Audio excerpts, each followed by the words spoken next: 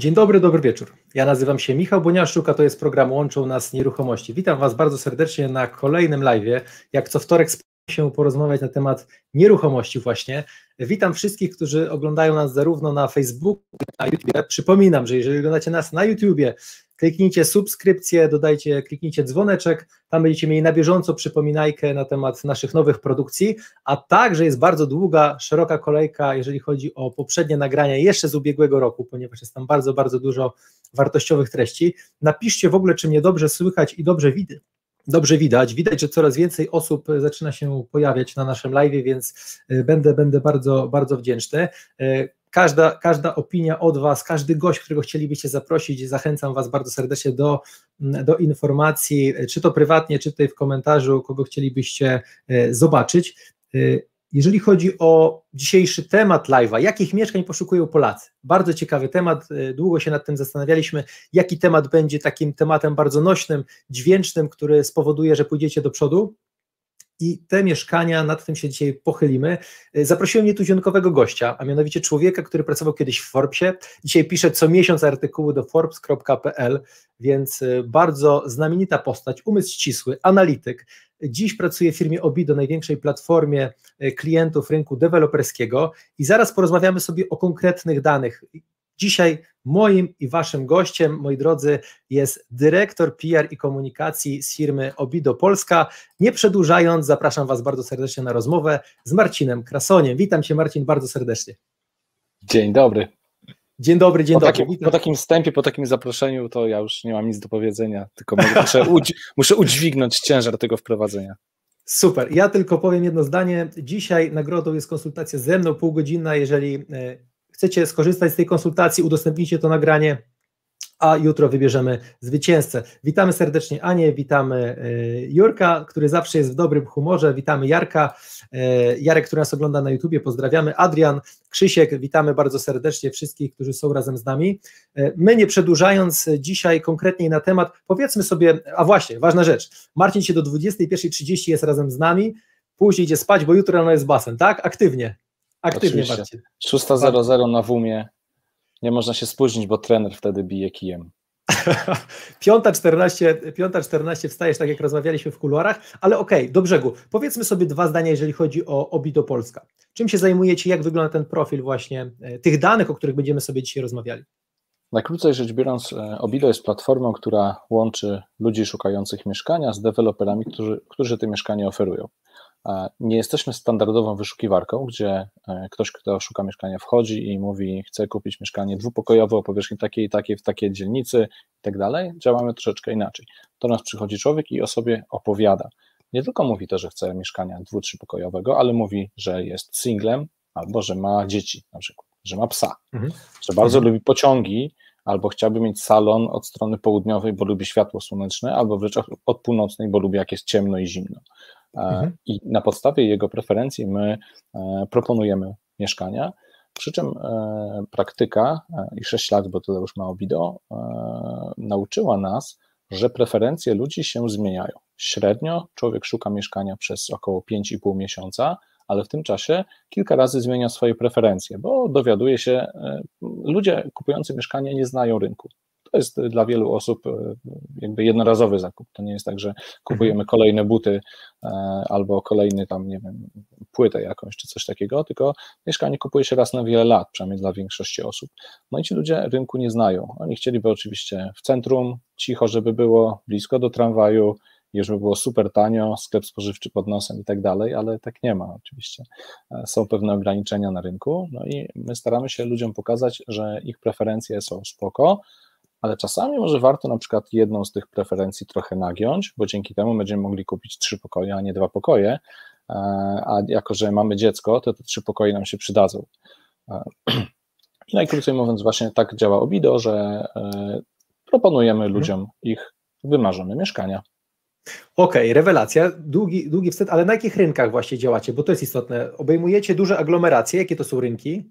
Tak, na tę chwilę e, działamy we Warszawie, Wrocławiu, Krakowie i Trójmieście, ale już wkrótce mhm. odpalamy trzy kolejne: Poznań, Łódź i aglomerację śląską. Czyli te dane, o których dzisiaj będziemy rozmawiali, pochodzą z tych największych rynków. To jest bardzo ważna informacja dla Was, drodzy widzowie, tak, ponieważ to jest kluczowe. To, Tak, będą to informacje jakby z pierwszej ręki, z tego, co się dzieje na rynku ogólnopolskim, właśnie w tych największych e, aglomeracjach. Zacznijmy od tego, czy przed pandemią i w czasie pandemii zmieniły się trendy zakupowe naszych rodaków? Mianowicie, czy teraz idą bardziej w stronę domów, czy bardziej 100-metrowych apartamentów na, na dzień dzisiejszy, Marcin? To jest trochę tak, że hmm, pandemia to był taki czas, kiedy rok temu, w marcu, nagle świat nacisnął pauzę. Cały, mhm. tak? Wszystko się zatrzymało. E, wszystko się pozamykało, ludzie zaczęli siedzieć w domach i koniec. Zaczęli wtedy e, myśleć sobie, hmm, no dobra, siedzę w mieszkaniu na tych dwóch pokojach, muszę pracować, a dziecko ma jeszcze lekcje. Co by było, gdybym miał dom? I zaczęli tych domów szukać ale e, pojawiły się od razu takie opinie na podstawie Google Trends na przykład, bo to jest takie narzędzie, które pozwala bardzo szybko zobaczyć, czego szukają ludzie w internecie. No mhm. i wzrost wyszukiwań tematów działki, mieszka domy, tudzież mieszkania z ogródkiem był gigantyczny, tak? Tylko, że od takiego wyszukiwania tak. do zakupu jest kawał drogi. Ja bym jeszcze jedno zdanie dodał, 60% więcej przeniesienia własności, jeżeli chodzi o grunty, rok do roku między 2019 a 2020 to jest potwierdzenie tego, o czym powiedziałeś, czyli ten trend, jeżeli chodzi o zakup gruntu jest astronomiczny. No bo to się pojawiło właśnie ponad rok temu, ale proces zakupowy trochę trwa, nie? więc tak uczciwie rzecz mhm. biorąc, zanim będziemy mogli ocenić, jak e, zmienił się rynek mieszkaniowy w związku z pandemią, trzeba trochę zaczekać, bo rynek mieszkaniowy to nie jest coś takiego jak giełda, że wszystko widzimy na żywo, tylko to trochę trwa, tak? E, Narodowy mhm. Bank Polski, e, który jest takim bardzo wiarygodnym źródłem wszelakich informacji, e, te jego analizy, no one pojawiają się z opóźnieniem tam półtora kwartału praktycznie, nie? JLL mhm. podaje trochę szybciej, ale też z opóźnieniem, a żeby spojrzeć na to z szerokiej perspektywy, to musielibyśmy już mieć kilka lat dopiero być potem, żeby móc dokładnie ocenić. To, co na pewno możemy zauważyć, aczkolwiek ciekawostka jest, że to jest to kontynuacja trendu takiego już dłuższego, to, że Polacy szukają coraz większych mieszkań, ale większych rozumujemy tutaj mających więcej pokoi. No właśnie. I teraz, jeśli mogę, jedno zdanie. Rozmawialiśmy też o tym w kuluarach. E, jak najprościej robić biznes w nieruchomościach? Wystarczy skręcić głowę delikatnie w lewo, w cudzysłowie oczywiście, spojrzeć na inny kontynent, na, na Amerykę. E, tam deweloperzy budują nie metr kwadratowy, a budują ilość pomieszczeń. Powiedz mi, czy u nas właśnie też dostrzegasz taki trend, że, że tych pokoi musi być coraz więcej właśnie? Trochę tak jest i myślę, że pandemia to przyspieszyła, no bo jednak w momencie, w którym nasze mieszkanie stało się nie tylko mieszkaniem, ale też biurem, jeszcze szkołą, albo przedszkolem, albo wszystkim naraz, e, mhm. no to okazało się, że tych pokoi po prostu trochę brakuje, bo jeżeli mamy do czynienia z sytuacją, gdy e, jedna osoba pracuje, ma jakiegoś tam kola, jest zajęta rozmową, a jednocześnie dziecko ma naukę zdalną i też musi słuchać jeszcze mówić, no to niestety nie da się tego zrobić w jednym pokoju. I ludzie zaczęli się rozglądać za większą liczbą pomieszczeń. I rzeczywiście tak jest. E, mhm. Okazuje się, że e, cztery pokoje, pięć pokoi to są takie mieszkania, których ludzie szukają. I co ciekawe, e, pandemia to po prostu przyspieszyła, ale to już było, to się już działo wcześniej. My porównujemy sobie na przykład dane um, od początku swojej działalności właściwie, tak? Czyli tam mhm. za rok 2017, 18, 19, 20 i tak dalej. I w Warszawie Mm, liczba osób, odsetek osób, które szukają mieszkania czteropokojowego lub większego, 4 plus, czyli 4 pokoje lub więcej, e, wzrosła z 9 do 18%, dwukrotnie. Mhm. Myślę, że jest to związane z wieloma rzeczami, nie tylko pandemią, ale także na przykład tym, że generalnie zaczynamy mieć coraz większe oczekiwania co do wielu e, aspektów życia, także tego, jak mieszkamy. No, nie wiem, ja na przykład wychowałem się e, w, w modelu rodziny 2 plus 2, mieszkaliśmy na dwóch pokojach, e, przeżyliśmy, ale mhm. no, dziś nie chciałbym w ten sposób żyć. Tak? Dziś moim zdaniem dla rodziny 2 plus 2, 4 pokoje to jest minimum. Więc to widać też szerzej. Ludzie chcą mieć po prostu coraz lepsze warunki życia, do życia, a że e, patrząc z szerszej perspektywy i w dłuższym terminie Polacy się bogacą, no to te chęci po prostu realizujemy. Dokładnie tak. E, jakby zaczynamy się bogacić jako społeczeństwo. Mam nadzieję, że Nowy Ład nam tego nie zwalcuje, nie przejedzie po nas i cofniemy się 10-20 lat do tyłu. Mam nadzieję, że nasza kreatywność, przedsiębiorczość tutaj pomoże. Natomiast e, pytanie mam takie do Ciebie. Mamy dwupokojową, no właśnie, teraz pytanie. Mamy dwupokojowe mieszkanie, przykład, 50 metrów dwupokojówkę. I teraz pytanie, czy przerabiać je na trzypokojowe względem tego trendu, o którym mówisz i zostawić, dajmy na to 7-8 metrowy mały pokój, który przerobiliśmy z kuchni, czy jednak zostawić ten standard? Idąc twoim, jakby tymi danymi, o których, o których wspomniałeś, warto jest przerobić tę nieruchomość na trzy pokoje i zostawić ten mniejszy pokój choćby na, na przysłowiowe biuro. Zważywszy na to, że mm, płacimy tak jakby za metry kwadratowe, a nie za pokoje, mhm.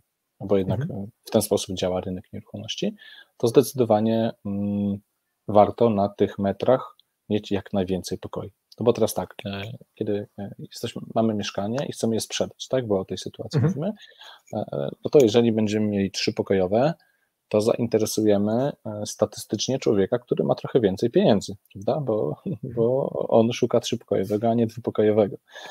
Oczywiście no jest też kwestia tego, że pokój o powierzchni 8 czy 9 metrów nie jest najwygodniejszy do życia, ale jeżeli zrobimy z niego po prostu biuro, no to spokojnie wystarczy. Malutka sypialnia mhm. to też może być, nie? E, mhm. Pokój dla dwójki dzieci już moim zdaniem nie bardzo, bo będzie ciasnawo, e, więc mhm. to jest z mieszkaniami to zawsze tak, że każdy ma trochę inne jednak potrzeby i oczekiwania.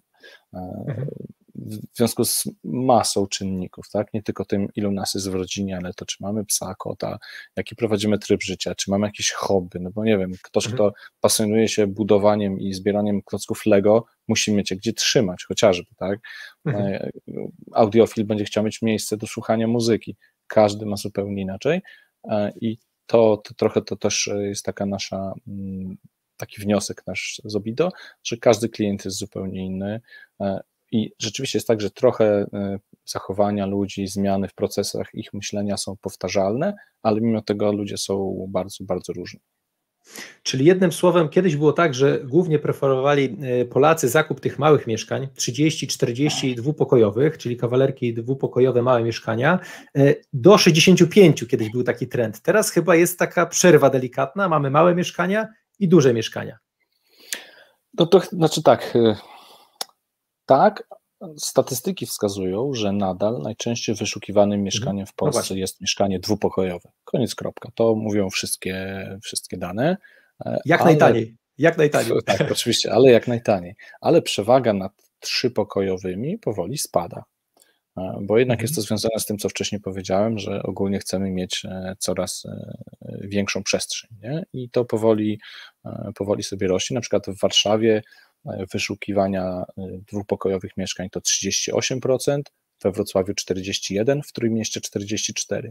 Moim zdaniem jest to związane z tym, że Trójmiasto jest bardzo turystyczne, i tam takie e, dwupokojowe, jednopokojowe mieszkania się często wynajmują po prostu na, na, na najmie krótkoterminowy. Mhm. Okej, okay, czyli wyprzedziłeś trochę moje pytanie, bo miałem Cię zapytać, kto kupuje, takie, kto kupuje takie małe metraże, czyli pod, pod inwestycje, tak? Czy to ewentualnie single, para, no właśnie, kto tam, jakie są preferencje Waszych, waszych klientów na bazie tego? Tak, no oczywiście to jest y, to jest też tak, że kiedybyśmy podzielili klientów na, na segmenty, my mamy cztery grupy segment, cztery grupy klientów. E, mhm. To jest single, para, rodzina, czyli mamy na, na myśli tutaj e, z dziećmi, e, mhm. plus czwarta grupa, czyli inwestorzy.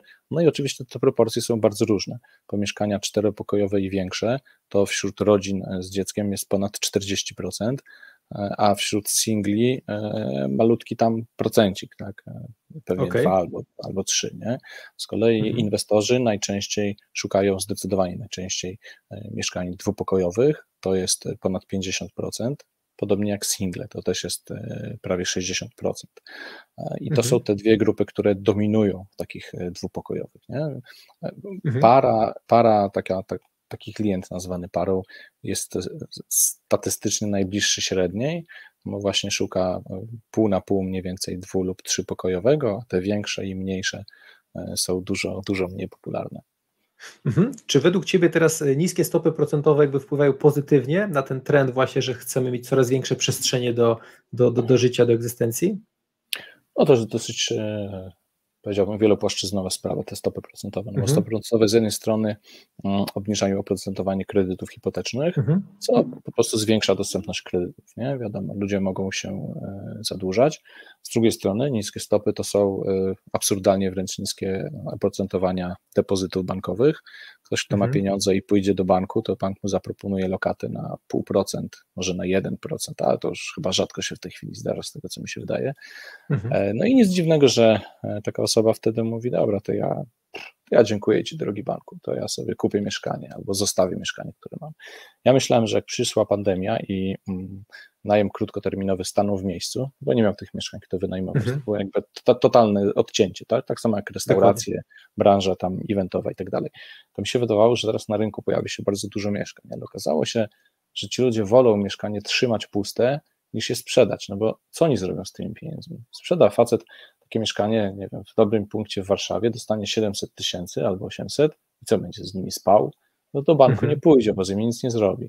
Giełdy troszeczkę się ludzie boją, e, a mieszkanie tak no ludzie sobie myślą, że dobra, czasami nawet ceny się wahają, bo to jest normalne, że się wahają, prędzej czy później mhm. spadną, ale tak w długim terminie, no to te ceny raczej rosną, a jak przy okazji uda się e, dorobić na jakimś najmie, to, to w ogóle spoko. Ostatnio rozmawiałem z, z jednym z deweloperów, z, z szefem mhm. sprzedaży chyba w Ronsonie, no i powiedział, że część osób, które kupuje u nich mieszkania, to ludzie po prostu kupują to mieszkanie i nic z nim nie robią. Oni go nie wykańczają, oni go nie urządzają, tylko po prostu sobie mieszkanie po prostu stoi. stoi.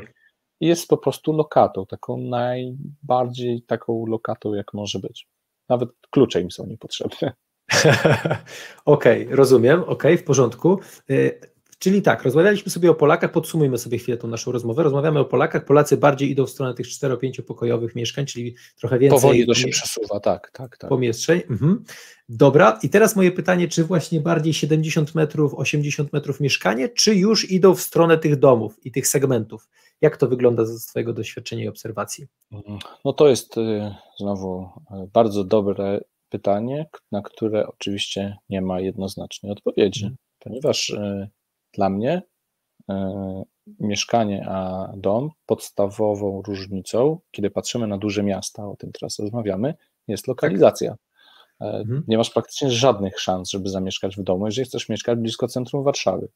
No dobrze, no jak masz 5 mhm. milionów złotych, to na Żoliborzu kupisz mieszkanie, ale to jest tych, przepraszam, kupisz dom, ale jest tych domów bardzo niewiele. Jeżeli mówimy o przeciętnym e, Polaku, E, to jeżeli ktoś chce mieć dużą powierzchnię e, i mieszkać w, nazwijmy to, atrakcyjnym punkcie dużego miasta, no to jest skazany na duże, na duże mieszkanie. Tak? Mhm. E, zakup domu, zakup segmentu czy domu wolno stojącego to jest decyzja, która się wiąże z zupełnie zmianą trybu życia na przykład. Nie? Dokładnie tak. Jeżeli, jeżeli mówimy o kimś, kto uprawia ten tak zwany wolny zawód, nie musi jeździć na ósmą albo na dziewiątą do, do biura, E, to taka osoba łatwiej sobie na to pozwoli, prawda? No bo nie będzie skazana na stanie w korkach i dojazd do, do centrum Krakowa, Poznania, Gdańska, Warszawy, o czym byśmy tutaj nie mówili. E, mhm. Rzeczywiście teraz e, to, co chyba największy wpływ, jaki pandemia będzie miała na, na wszystko, co nas z punktu widzenia biznesowego otacza, to zmiana trybu pracy. Moim zdaniem zasmakowaliśmy jako ludzie pracy zdalnej, zobaczyliśmy, że to może działać, że to nie jest mhm. tak, że świat się wali, firmy upadają, bo ludzie pracują z domu e, i pracownicy już tego nie oddadzą. E, już, nie, już będzie tak, że firma, która będzie żądała 100% pracy z biura, będzie stała na takiej troszeczkę straconej pozycji na rynku pracy. E, I wtedy ta perspektywa, jeżeli będę miał na przykład dojechać do biura dwa razy w tygodniu, to wtedy ta inwestycja czasu jest tylko dwa razy w tygodniu, nie? to suma summarum w tygodniu zainwestuję w te dojazdy dużo mniej niż dojeżdżałbym pięć razy w tygodniu, nie? więc myślę, że Jasne. E, w długiej perspektywie to się może zmienić, ale no, pamiętajmy, że tutaj mówimy o rzeczach, które się nie dzieją z dnia na dzień przecież, nie? To nie jest tak, tak. że ktoś się nagle wyprowadzi, bo to jest kwestia szkoły dla dzieci, zajęć dodatkowych dla dzieci, przyjaciół yy, i tak dalej, i tak dalej. To, to nie są rzeczy, które się zmieniają na pstryknięcie palcem.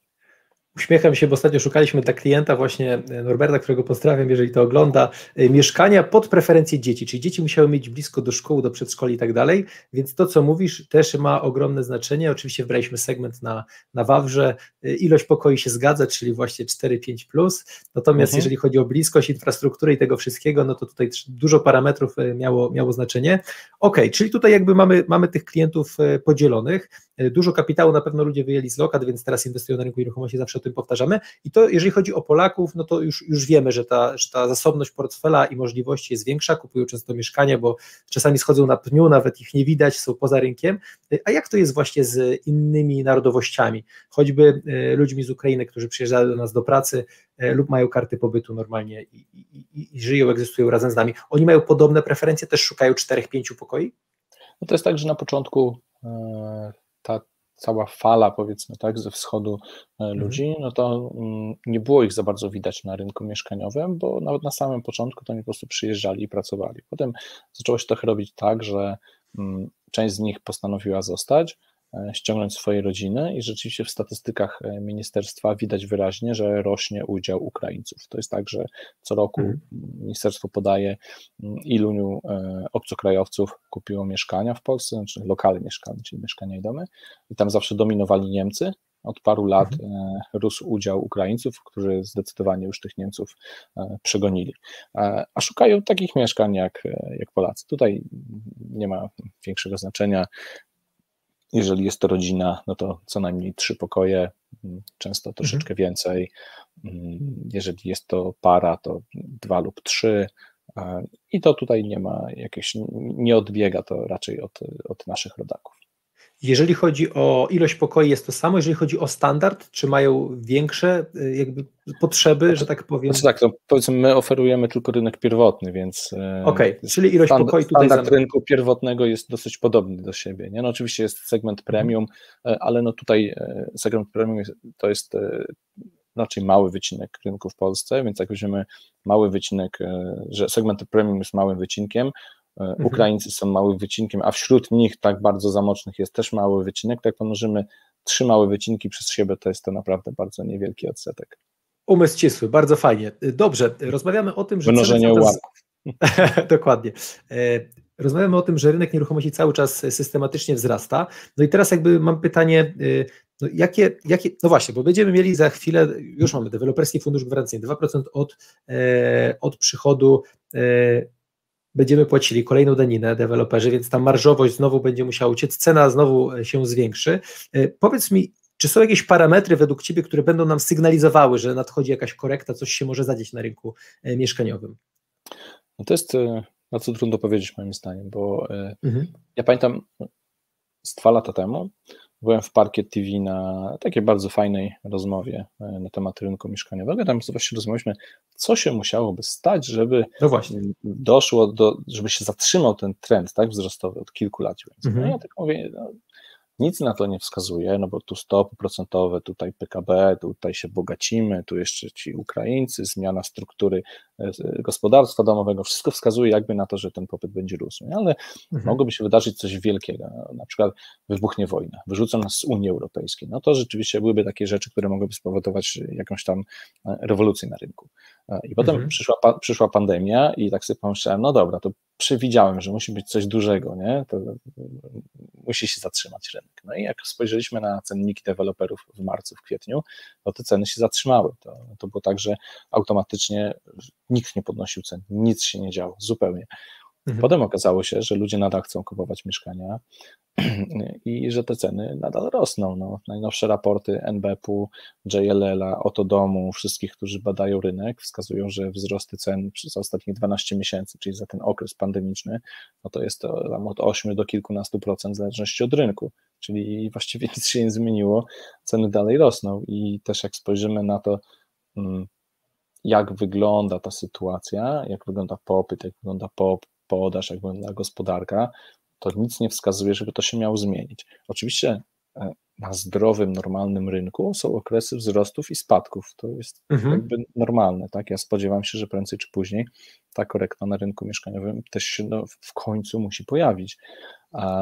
Tylko, że nie za bardzo coś na razie widać. No oczywiście, gdyby była taka sytuacja, że patrzymy na dane e, i widać, że mm, więcej mieszkań jest na przykład wprowadzanych do sprzedaży niż jest sprzedawanych, no to wtedy mhm. możemy mówić, ok, będzie ich coraz więcej, a mniej jest chętnych, to mogą ceny zacząć spadać, ale na razie sytuacja jest odwrotna.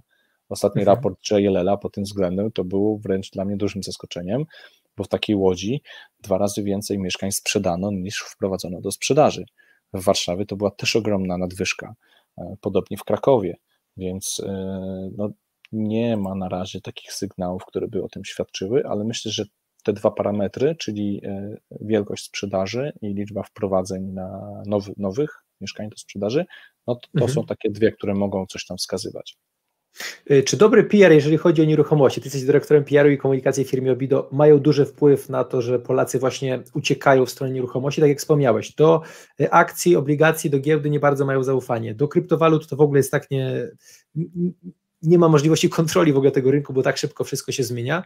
E, no i wszyscy jakby idą z tym kapitałem na rynek nieruchomości, gdzie tak jak wspomniałeś, e, no popyt przyściga podaż, przez co jakby te ceny cały czas wzrastają. E, dalej nam brakuje mieszkań, oczywiście są pewne projekty rządowe, które miały budować mieszkania, chyba z tego co wiem powstało ich 16 sztuk, także bardzo duża nadprodukcja, jeżeli chodzi o, o, o tę sferę. Natomiast, natomiast myślę, że ten trend dalej będzie się utrzymywał, dalej mimo tych rosnących cen ludzie będą uciekali z kapitałem w stronę nieruchomości? Jest jeszcze taka ciekawostka e, co do mhm. tego popytu. E, bardzo dużo mówi się o demografii, e, że w mhm. Polsce spada liczba ludności, pandemia to jeszcze przyspieszyła i to tak bardzo mocno. Jak tam analizy GUS-u wskazują, że w niektórych miastach liczba ludności spadnie o 20-30% do 2030 albo 50, nie pamiętam. W każdym razie demografia nie wygląda dobrze. No i ktoś mógłby powiedzieć, nie będzie chętnych na mieszkania, będą stały puste mieszkania. Tylko, mhm. że ze statystyką jest tak, że zależy jak spojrzymy, bo gdybyśmy na tą demografię spojrzeli dokładniej, czyli nie przyglądali się liczbie ludności, a liczbie gospodarstw domowych, to okazuje się, że w Polsce liczba gospodarstw domowych rośnie i to bardzo szybko. Jest to związane okay. z paroma rzeczami. Po pierwsze, e, coraz mniejsza dzietność, czyli e, kiedyś na przykład 12 osób, to były trzy rodziny po cztery osoby, czyli potrzebowaliśmy trzech mieszkań, nie? Teraz mhm. 12 osób to są cztery rodziny po trzy osoby, czyli potrzebujemy czterech mieszkań. Na dodatek dochodzi rosnąca lawinowo od paru lat, a świetam parunastu pewnie, liczba rozwodów. E, to też mhm. powoduje dodatkową tak jakby potrzebę e, mieszkaniową. E, I jest tak, że no, moim zdaniem na razie wszystko wskazuje na to, że tego popytu nie zabraknie na rynku po prostu gospodarka polska wygląda na to, że obroniła, obroniła się naprawdę nieźle przed pandemią. E, ok, jest tam inflacja, PKB zwolniło, ale mogło być gorzej i wielu spodziewało się, że będzie gorzej.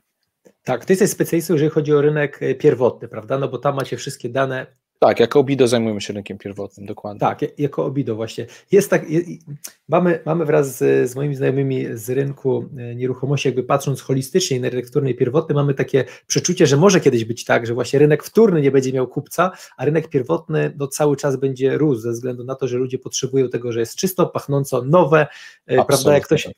jak ktoś pyta, z którego roku jest budynek, no 1970 i nagle klient mówi, to sobie przeliczam, dobra, 50, nie, no to już 51 lat, to ile on jeszcze postoi, prawda? Często, często są tego typu e, sugestie. Natomiast chciałem Cię popytać jeszcze, zapytać jeszcze o ten popyt właśnie, a propos popytu, no jest tak, że trochę te ceny zaczynają nam odjeżdżać. Jeżeli chodzi o rynek nieruchomości, ceny niesamowicie wzrastają, natomiast nasze zarobki wcale tak dynamicznie już nie wzrastają. Czy może wydarzyć się taka sytuacja według Ciebie, że Polaka, przeciętnego Polaka nie będzie stać na własną nieruchomość, na własność? Znaczy z tym już jest coraz trudniej, no bo jednak e, mhm. ostatnie lata to są takie wzrosty cen mieszkań, które przekroczyły już wzrost e, pensji. No i tak mhm. całkiem nieźle te średnie tam e, zarobki Polaków rosły. I ta dostępność niestety spada. Mhm. Ale póki co wciąż też mamy historycznie najniższe stopy procentowe, a to sprzyja niskiemu oprocentowaniu kredytów, dostępowi do kredytów, zadłużaniu się i tak dalej. To jest oczywiście ryzykowne, bo stopy niekoniecznie muszą tak niskie być. Tam według ekspertów co najmniej do 2023 e, podwyżki nie będzie, ale prędzej czy później ona pewnie nastąpi. No, nie spodziewam się, żeby zawsze była tak, e, mhm. tak nisko, a, a wtedy no, należy być świadomym tego, że oprocentowanie pójdzie w górę i rata kredytu też pójdzie w górę. Jeśli chodzi o tą dostępność, to jest troszeczkę tak, że mm, jest chyba coraz większe rozwarstwienie w społeczeństwie, niestety. To jest bardzo, bardzo złe i to jest trochę tak, jak jest w Stanach Zjednoczonych, że jest masa bogatych ludzi, ale jest też masa takich ludzi, których nie stać totalnie na nic, tak? którzy są takimi, mhm. e, to jest taka luka po prostu. I e, pojawienie się parę lat temu programu mm, Mieszkanie Plus było firmowane tym, że to będzie taki program właśnie dla ludzi, którzy są zbyt zamożni, żeby dostać mieszkanie socjalne albo komunalne, ale nie stać ich na własne ani na wynajem, ani na zakup własnego. E, mhm. Program Mieszkanie Plus y, kilka razy wstawał z kolan, potykał się o własne nogi i znów się przewracał. I w tym momencie, kiedy kilka dni temu usłyszeliśmy nowe pomysły mieszkaniowe, to o Mieszkaniu Plus ani się nikt nie zająknął. I myślę, że to już jest trochę tak, że e, powoli ten pomysł jest grzebany, a szkoda, bo to było wreszcie spojrzenie na potrzeby mieszkaniowe e, ludzi, którzy naprawdę tego potrzebują. Wcześniejsze pomysły, mieszkanie dla młodych i rodziny na swoim, były bez sensu, ponieważ pomagały tym, których i tak było stać na mieszkanie. Mhm. Natomiast w Polsce jest ogromna grupa ludzi, która moim zdaniem będzie cały czas rosła, e, których na to mieszkanie po prostu nie stać i to jest problem, którego rynek chyba nie za bardzo rozwiąże, bo to trzeba by rozwiązać systemowo, a nic nie wskazuje na to, żeby tak się stało.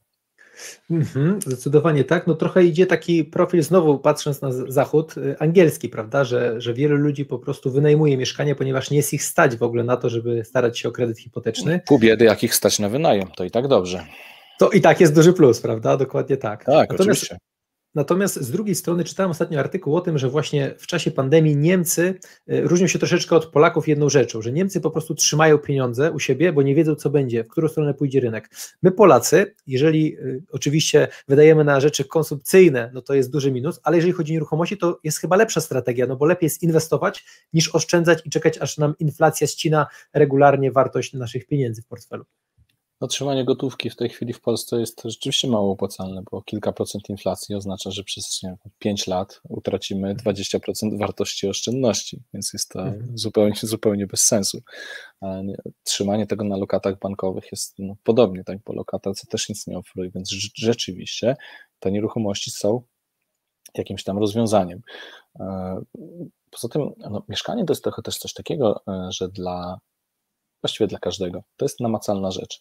To nie jest mhm. akcja na koncie maklerskim, to nie jest jakaś tam obligacja na, gdzieś na koncie. To jest nieruchomość, to jest coś, co stoi. A tak mhm. samo ziemia, tak? Działka. E, działkę mamy i to jest, ją widać, można ją dotknąć, można, nie wiem, zdjęcie zrobić, tak? Można sobie na nie namiot rozbić. E, I, I to jest, e, myślę, że bardzo ważne.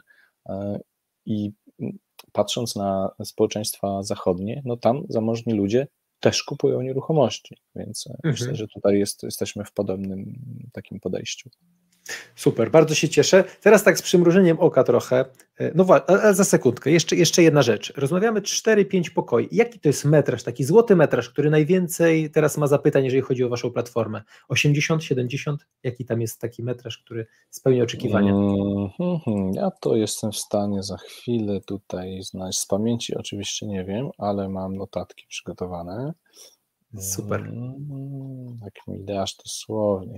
Jasne, to ja tylko, drodzy widzowie, powiem jedno zdanie. Ty Marcin, ty Marcin zrób research. Jeżeli jest to dla Was wartościowy materiał, wielka prośba o lajka, dajcie jakąś reakcję po sobie e, i udostępniajcie. Za udostępnienie e, jutro wylosujemy osobę, która będzie miała ze mną konsultację, pół godziny o temat nieruchomości. Jeżeli frapuje Was, interesuje lub macie z czymś problem, jeżeli chodzi o rynek nieruchomości, zachęcam bardzo serdecznie do udostępniania. Na pewno zwiększymy dzięki temu widoczność tego, tego nagrania, e, plus być może komuś jest, będziemy w stanie pomóc tym właśnie nagraniem. Marcin widzę, że już znalazł. Tak, tak, więc to jest tak, jeżeli spojrzelibyśmy na całość mhm. rynku, no to nadal e, najwięcej osób szuka mieszkań małych, czyli od 30 do 40 metrów, 40 do 50.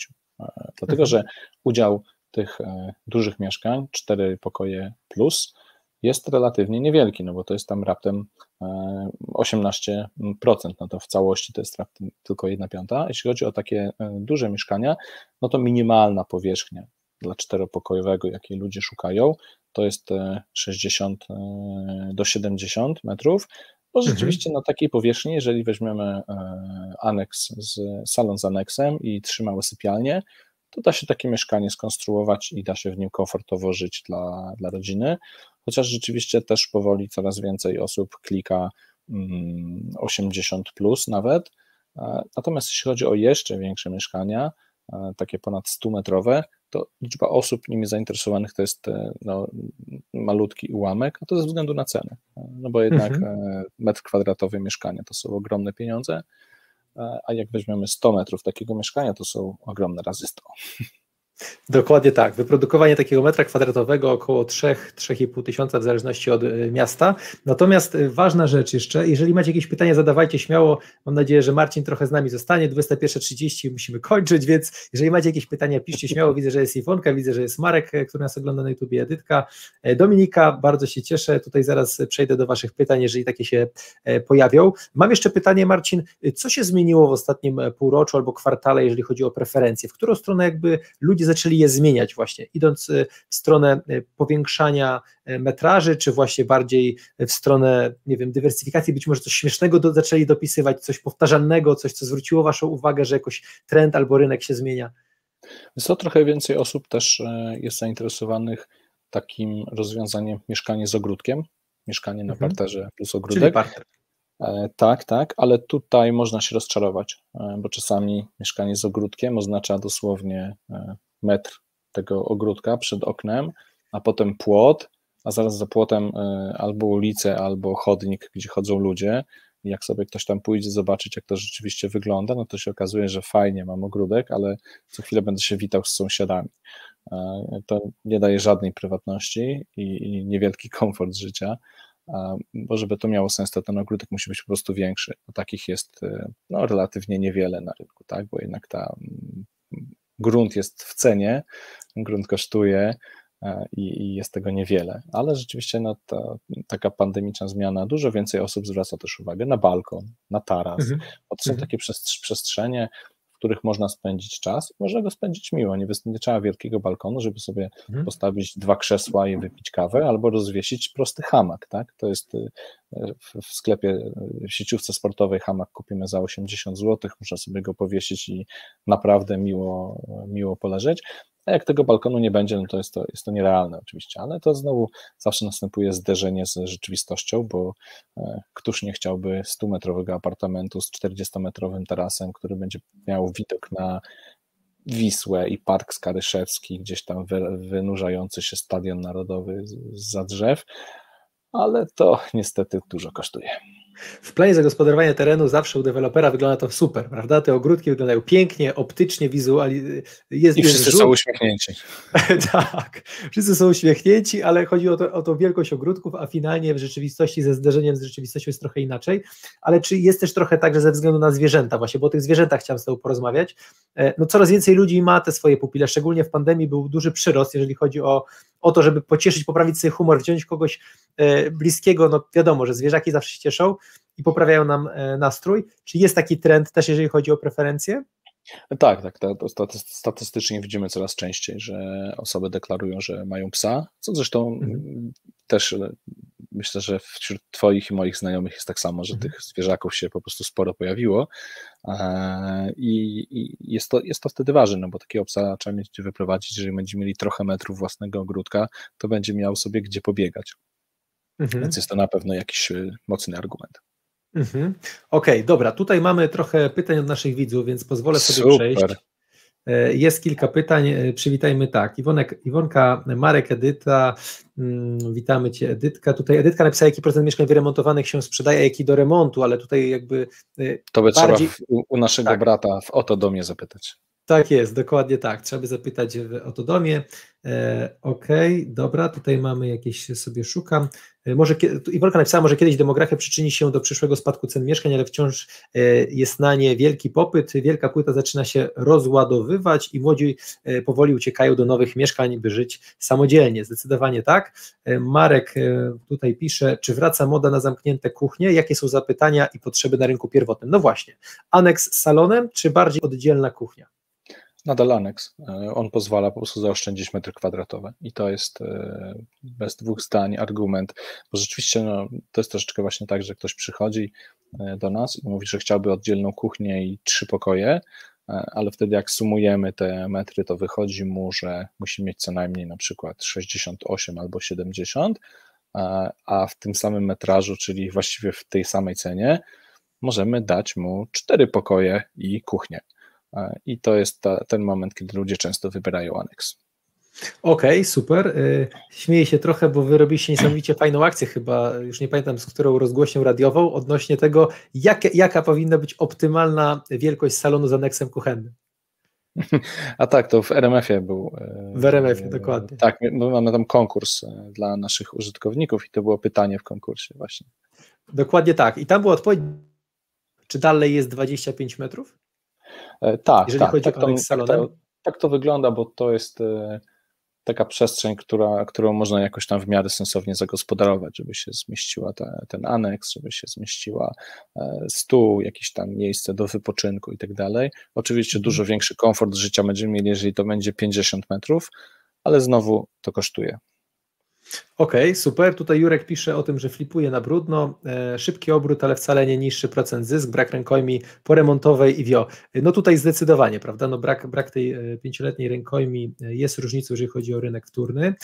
Tutaj napisała Edytka w Opolu mieszkania 73 m2, 81, o sekundeczkę, bo mi przeskoczyło, sekundę, e, mamy oraz 140 m2 nie sprzedają się zbyt szybko, tak jak kawalerki mieszkania do 50 metrów. Czyli to, to o czym rozmawialiśmy. Mówiliśmy, tak, dokładnie. Tak jest, dokładnie tak. Damian napisał, e, witam Panie Marcinie, co Pan sądzi o domku wolnostojącym 70 metrów z działką 300-400 m2 blisko miasta lub nawet na osiedlu w mieście i to wszystko w cenie mieszkania 60-metrowego? Szczerze? Szczerze, no zawsze szczerze, zawsze szczerze. Tu jest tylko no, szczerze. Jeśli panu Damianowi, e, dla pana Damiana to jest ok, to super rozwiązanie. E, dla mnie na przykład osobiście by nie było, e, mhm. bo ja potrzebowałbym więcej dla mojej rodziny, tak? Powierzchni, ale to jest troszeczkę tak właśnie, że potrzeby każdego z nas są, i oczekiwania są inne, zarówno co do powierzchni, jak i na przykład lokalizacji. Ja kiedyś już mieszkałem pod miastem, mhm. wprawdzie nie w segmencie, nie w domku, tylko w mieszkaniu i to nie było do końca dla mnie. Jasne. Ale tak jak mówię, indywidualna kwestia, absolutnie. Dokładnie tak. Michał jest razem z nami. Pozdrawiamy Michał i firmę Totendom. Marek, Adrian. Adrian napisał, jaki procent inwestycji deweloperskich jest kupowane przez inwestorów, a jaki przez Kowalskiego, według Twoich doświadczeń? Mm, no to znowu tutaj jesteśmy w stanie wrócić do naszego raportu przygotowanego z JLN-em, gdzie wiemy ile osób. O, według, e, to jest znowu tak, to są nasi klienci na czterech rynkach, o których mówimy, tak, bo to zawsze trzeba w próbce statystycznej zaznaczyć. Osoby, które kupują, deklarują się jako inwestorzy to 15%, ale teraz ciekawostka. Dlatego, że a, zauważyliśmy, że w w, w, sytuacji, w której na całym rynku mówi się, że rośnie liczba inwestorów, że jest ich coraz więcej, u nas ta liczba nie rosła i zastanawialiśmy się dlaczego, nie? I potem okazało mhm. się, że ludzie, którzy e, po prostu kupują sobie, e, lokują gdzieś oszczędności, bo mają po prostu dużo pieniędzy, oni nie deklarują się jako inwestorzy, tylko mówią, że są tym, kim są, na przykład rodziną albo parą. Dlatego, że e, według nich inwestor to jest ktoś, kto zajmuje się tym profesjonalnie.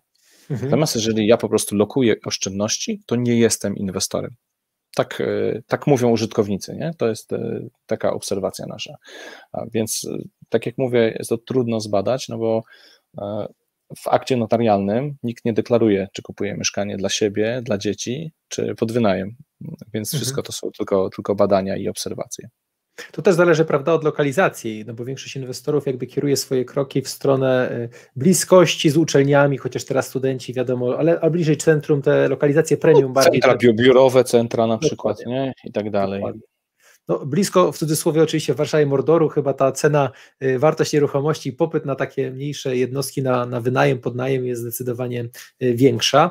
Tutaj napisał Jarek, cena metra w wielkiej płycie po 10 tysięcy na Pomorzu w Gdańsku. Czas eksploatacji to około 80 lat. Co będzie później? Co będzie później? Trudne pytanie, prawda? Nie wiemy, co będzie z wielką nie płytą wiem. później, bo wielka płyta była w latach 80. budowana. Czas pokaże. Czas pokaże. To, jest, to, jest, to jest bardzo trudne pytanie i bardzo istotne, dlatego że mhm. w Polsce to jest oczywiście, mimo tego, że rynek nieruchomości się bardzo rozwija w ostatnich latach, się wybudowała masa mieszkań, to nadal te mieszkania wybudowane y, tam kilkadziesiąt lat temu stanowią duży odsetek y, w strukturze mieszkań w całej Polsce. A mhm. więc to, jak one się będą trzymały, jest mega, mega ważne. No i tam są prowadzone najróżniejsze badania i generalnie one wskazują, że jest lepiej niż się spodziewaliśmy, mhm. co jest chyba dobrą wiadomością tak naprawdę. Mhm. Okej, okay, jak najbardziej. Tutaj y, napisał Damian, jeszcze precyzując, moje pytanie dotyczyło, czy takie domki 70 metrów kwadratowych mogą być alternatywą dla mieszkania. Mówię o małym mieście, gdzie dojazd do centrum z tego domku to jakieś 15 minut. I znowu preferencje, prawda? Kwestia preferencji. Znowu preferencje, tak, tak. Oczywiście, że mogą. Mhm. Jak najbardziej, wszystko może być, tylko zależy dla kogo, nie? To jest zawsze kwestia może, bo to jest tak, taki nawet malutki segment daje już trochę więcej komfortu życia niż życie w mieszkaniu, nie? No bo nie mamy mhm. sąsiadów na górze ani na dole, ale z drugiej strony daje nam pewne obowiązki, bo na przykład mamy mhm. bramę wjazdową, ona się może zepsuć, musimy tam odśnieżyć kawałek i tak dalej, więc to też na to warto zwrócić uwagę, e, że to mm, te plusy i minusy są bardzo różne i trzeba je po prostu pod siebie e, przeanalizować. Jasne. I teraz e, Marcin, bo to Cię nie zapytałem, no idziemy w stronę funkcjonalności też, prawda? Ludzie są coraz bardziej majętni. Czy garderoba pojawia się u Was w preferencjach? Czy dwie łazienki? A, czy dwie łazienki, tego typu rzeczy? Funkcjonalność. Mhm to jest też teraz ta druga łazienka, to właśnie nie powiedziałem o tym e, przy okazji mm, pandemii, mhm. oprócz tego, że, że balkon, że taras, to druga łazienka, bo to się okazuje, że jest ciasnawo. E, to, jest, okay. to, jest bardzo, to się staje bardzo ważna rzecz. E, popularność czegoś takiego jak garderoba też powoli rośnie. Trochę chyba jest tak, że po prostu jako Polacy dojrzewamy do takiego luksusu, jak posiadanie garderoby w domu. To jest właśnie związane z tym, o czym wcześniej mówiliśmy. Chcemy mhm. żyć coraz lepiej, bo po prostu nas na to stać. No to tak samo jakbyśmy spojrzeli na samochody. 30 lat temu odsetek nowych samochodów w Polsce na rynku był niewielki, no, a teraz jest to dużo zupełnie inaczej. Jasne. A jeżeli chodzi o systemy smart w blokach, w których, których deweloperzy budują, coraz więcej tych nowych technologii pojawia się. Są zapytania, jeżeli chodzi o waszych konsumentów, jeżeli chodzi o tą sferę? To jest troszeczkę tak, że to jest, taka, to jest taki dodatek, który może z, z gdzieś tam na końcu procesu decyzyjnego mm, u klienta e, pomiędzy dwiema na przykład inwestycjami. Nie? Oglądam mhm. sobie dwa mieszkania podobne w, podobne, w podobnej lokalizacji są dwie inwestycje i jedna ma smarta, druga nie ma. To ok, wybiorę tą, która ma. Ale to jeszcze nie jest tak, że ludzie mówią, ja chciałbym mieć smarta, bo to e, po pierwsze kosztuje, e, mhm. a po drugie jeszcze nie na nie zyskały te rozwiązania na tyle na popularności, e, żeby ludzie potrafili e, tak naprawdę sobie zwizualizować, co to daje. Nie? No bo takie trochę są bajery. Mój tata sobie tak, tak, za, zainstalował w domu e, smartfonem, włącza światło w ogrodzie, no i się bardzo cieszy, że to robi, albo opuszcza roletę smartfonem. No, no fajnie, ale to nie jest to niezbędne do życia i jak Bajer. do zakupu mieszkania, to lepiej mieć drugą łazienkę niż smart home. Dokładnie tak. Tutaj Edytka napisała, że odesłali Edytkę do mnie. Edytka, y, opiszemy sobie to poza rynkiem, poza, poza live'em, bo to jest trochę inna tematyka. Marek napisał, czy można, może Pan rozwinąć termin flipowania na pierwotnym, o co chodzi z sesją i jak dokładnie to rozegrać. Jeżeli nie, no to ja też, Marek, y, zachęcam Cię do kontaktu, chyba że jesteś w stanie coś powiedzieć na ten temat. E, Marcin? To, to jest też coś, co było popularne w latach 2006-2008, prawda? Ludzie licząc na to, że mieszkania będą szybko drożały, e, kupowali je na etapie dziury w ziemi, wtedy e, mamy większą szansę kupić taniej e, mhm. i zanim mieszkanie zostało wbudowane, można było sprzedać nie wpłacając w ogóle tak naprawdę jeszcze całej swojej gotówki, aczkolwiek tutaj nie jestem kompetentny, żeby o szczegółach opowiadać. Jasne. To Marek, zachęcam Cię do, do kontaktu, porozmawiamy sobie na ten temat. Natomiast pytanie takie na końcu, jakie są Twoje takie prognozy? Jak Ty widzisz najbliższą przyszłość, Marcin, przez pryzmat Twoich doświadczeń? Czy coś się zmieni w najbliższym czasie na rynku nieruchomości jeszcze? E, ja myślę, że jeśli e, pandemia nie spowodowała zatrzymania wzrostu cen, to na razie nie mamy co liczyć na to, że to się stanie, bo wszystkie takie czynniki, o których sobie mówiliśmy, wskazują raczej na to, że, że tak to będzie nadal wyglądać. Oczywiście fajnie byłoby i zdrowo dla rynku, gdyby nastąpiła korekta. E, to mhm. jest niedobre, kiedy mamy cały czas permanentny wzrost. E, to, to, to, to dla nikogo dobrze, ale spójrzmy na to z, z tej strony. Jest coraz większy problem z dostępem do działek takich budowlanych mhm. e, w miastach, tak? No bo mówimy o tym, żeby deweloperzy budowali. Jasne. Ceny materiałów budowlanych drożeją, a nie tanieją. Koszty, e, koszty pracownicze idą w górę, tak? Pojawia się teraz fundusz e, deweloperski. To jest Deweloperski fundusz koszt. gwarancyjny, dokładnie. Dodatkowy koszt, przecież to nie jest tak, że te deweloperzy wezmą na siebie. No to nie jest instytucja charytatywna, ma akcjonariuszy, którzy tam rozliczają ich. No to przecież to jest normalne, że podniesie, podniesie ceny, a więc nic na to nie wskazuje. Natomiast te trendy o takie o preferencjach, o których sobie bardzo fajnie dużo dzisiaj mówiliśmy, to pamiętajmy, że to są długoletnie procesy. Ja uważam, mhm. że to się będzie, to, to ten główny tak, y, trend, o którym powiedzieliśmy, że chcemy mieszkać coraz lepiej, będzie się to, będzie to kontynuowane, tylko że w długim okresie, tak? To nie jest tak, że nagle 100% budowanych mieszkań będzie miało garderobę, ale te procenty powoli będą rosnąć, bo to jest taki fajny przykład, uważam. Podobnie kwestia tego, o czym wspomnieliśmy, mm, trendu wynoszenia się z miasta do domu pod miastem. Mhm. To, to, to, też nie jest tak, że e, mieszkanie w domu to jest e, wieczna sielanka, tak? E, tu coś ci się zepsuje, tu musisz wykosić trawę, tutaj ci myszy gdzieś wejdą albo się os, osy zalęgną pod dachem i, i, i, masz kłopot, nie? Kupisz mieszkanie, to jest ci nie obchodzi, bo wszystko wspólnota robi. A więc to jest tak, że to też powoli będzie szło, bardzo powoli, bo to są procesy bardzo, bardzo wieloletnie. Wieloletnie. Damian jeszcze ma pytanie, czy zapowiedzi Ładu Polski jeszcze wywindują cenę według Ciebie?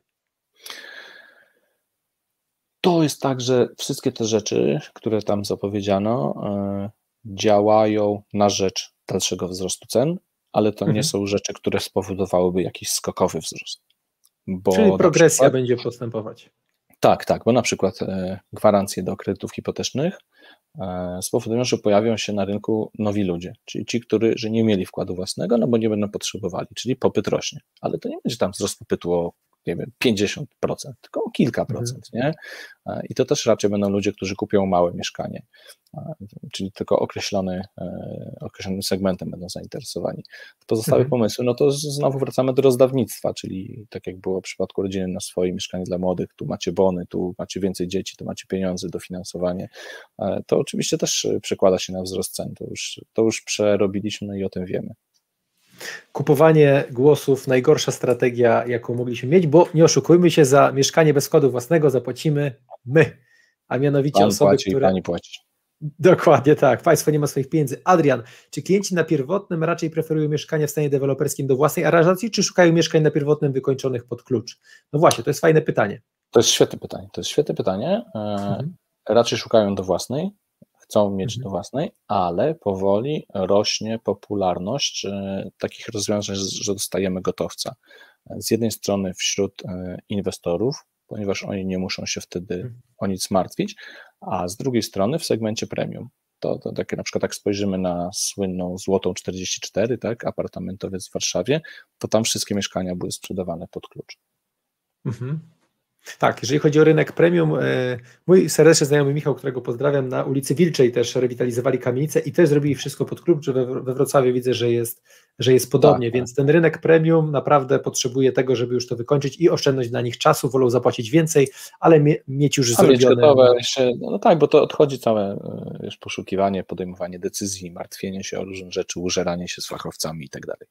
Okej, okay. ostatnie pytanie Marka. Y, powoli czas nam się kończy, zaraz idziesz spać. Pamiętam, pamiętam. Y, na podstawie y, doświadczenia i mentalności ludzi, co, co, sądzi Pan o sytuacji, kiedy w bliskiej odległości jest nowe osiedle, na przykład 2020 i mieszkanie z rynku wtórnego? Co ludzie wolą kupić? To jest to, o czym mówiliśmy wcześniej, że zdecydowanie wolą pierwotny, bo to jest nowe. Czysty, pachnący. Tak, Czysty, pachnący. Oczywiście, jeżeli mówimy o porównaniu rynku pierwotnego, a mieszkania, które ma tam, nie wiem, kilka lat, to już jest troszeczkę inaczej, tak? bo to nie jest wielka płyta, tam, tam jest czyściej, jest bardziej estetycznie i tak dalej, ale mimo wszystko ten aspekt nowości jest nadal dla wielu e, bardzo ważny. E, no, tylko, że rynek wtórny ma takie coś, że może walczyć ceną. No tutaj dokładnie. To chciałem sprzedający, znać. dokładnie. No to jest, pamiętajmy, że no, deweloper, jak buduje mieszkania, to ten próg negocjacji jest e, na tę chwilę niewielki. Jesteśmy w takim momencie rynku, że możemy próbować tam negocjować z deweloperem, ale wiele nie urwiemy. Natomiast na rynku wtórnym zdarzają się okazje, dużo, dużo łatwiej. No, po prostu można upolować okazję, kupić coś poniżej wartości rynkowej i jeżeli wtedy porównujemy, no to ja już bym wybrał wtórny, no bo będę miał po prostu dużo taniej.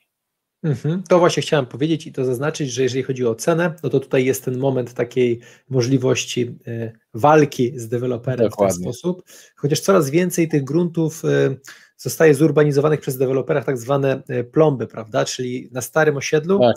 stara Pojawia się, pojawiają się nagle apartamenty, no i to jest... To tak, i to, i to na pewno nie tylko Lublin, ale też Warszawa, większe miasta wojewódzkie. Iwonka, czy nie uważa Pan, że Nowy Ład przyczyni się do jeszcze większej ilości rozpoczętych budów przez deweloperów? To, co rozmawialiśmy o tych działkach, prawda, o tej dostępności działek tutaj. No tak, to, to tak naprawdę, jeżeli będzie większy popyt, no to wiadomo, że y, chętnie by więcej deweloperzy budowali, a w tym momencie trochę stoją w, w, takim momencie problematycznym, bo z jednej strony jest problem z dostępem do działek, co już mówiliśmy, ale z drugiej mhm. Y, pandemia spowodowała też spowolnienie wszelkich y, procesów takich formalności. E, no tak, bo jeżeli u, mhm. urzędy pracują wolniej, no to uzyskanie pozwolenia na budowę i, i, cały ten proces e, rozpoczęcia budowy trwa niestety dłużej i według deweloperów, bo, bo to jest jakby tylko i wyłącznie moja zasuszana opinia z rozmów różnych, e, no wszystko trwa po prostu dłużej. No i dwa, wartość jakby materiałów robocizny jest tak dynamicznie, tak dynamicznie wzrasta, że ciężko jest doszacować i ta cena na pewno będzie aktualizowana, jeżeli chodzi o no czasami teraz jest taki moment, że warto kupić mieszkanie na rynku deweloperskim i czekać. To jest ten moment, prawda? Jak obserwujemy, że jeden deweloper kończy jeden blok i rozpoczynając kolejny etap inwestycji podnosi około 1800 tysiąc złotych na metrze, no to rzeczywiście y, jest to, jest to duży, duży przeskok. No jest tak, ale to y, jak zwykle w takich sytuacjach to wcale nie znaczy, że tak będzie za pół roku, nie? Bo, dokładnie tak, e, dokładnie tak. Oczywiście jest duże prawdopodobieństwo tego, ale znowu pamiętajmy, że różne rzeczy mogą się wydarzyć. Mhm. To prawda, to prawda. Rynek się tak dynamicznie teraz zmienia, że nie wiemy. Ostatnio, jak się zaczynała pandemia, każdy mówi, że to w Chinach nas nie dotyczy, tydzień później już nas dotyczyło, więc teraz jest tak dokładnie. tak naprawdę. Ja pamiętam dokładnie, jak w marcu, w kwietniu pojawiały się e, ekspertyzy dotyczące rynku mieszkaniowego, mówiące o 30% spadkach cen. E, no i nie zauważyliśmy takich. Nie ma czegoś takiego, dokładnie tak. Dominika, czy w Polsce domy będą zmieniać właścicieli tak jak na przykład w Stanach Zjednoczonych? A jak zmieniają w Stanach Zjednoczonych? Czy się Dominika, częściej sprzedają? Doprecyzuj. Ja to tak zrozumiałem, tak, że częściej, częściej po prostu e, ludzie w Ameryce e, obracają swoimi domami. Szczerze mówiąc, nie znam statystyki, więc nie jestem w stanie się do tego ustosunkować. Okej, okay. Krzysiek napisał, e, rynek wtórny często ma lepszą lokację, no chyba, że są te plomby, o których rozmawialiśmy Krzysiek przed sekundką tutaj z Marcinem. Damian, mam pytanie off topic, czy ceny materiałów budowlanych wyhamują? Kto Tego też wie? nie wiem. Tego, Tego nie też wiem. nie wiemy. Jakbyśmy Tego wiedzieli, nie... to byśmy mogli zarobić na tym. No dokładnie. Idziemy dalej. Adrian, skąd głównie czerpiesz dane do analiz statystycznych związanych z rynkiem nieruchomości? No to jest świetne pytanie, tak naprawdę. E, jesteśmy w takim momencie rynku, że dostęp do informacji jest dużo większy niż 15 albo 20 lat temu. E, mhm. Jeśli chodzi o wiarygodne dane dotyczące rynku mieszkaniowego, to przede wszystkim Narodowy Bank Polski, o którym wspomniałem, który tam co kwartał e, publikuje taki, taki raport wielkiego Excela z cenami w poszczególnych miastach, z rozbiciem na rynek pierwotny, rynek wtórny, ceny ofertowe, ceny transakcyjne, więc jest to naprawdę mhm. fajne, bardzo fajne źródło informacji.